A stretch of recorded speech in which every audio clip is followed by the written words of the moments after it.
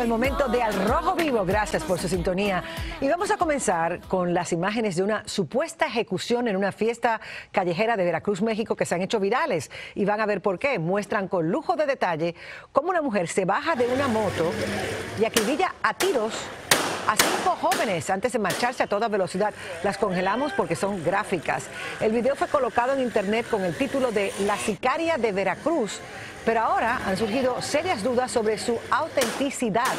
La prensa local indicó que después de este supuesto ataque, pues se empezó a investigar y que eso no tuvo lugar en Veracruz.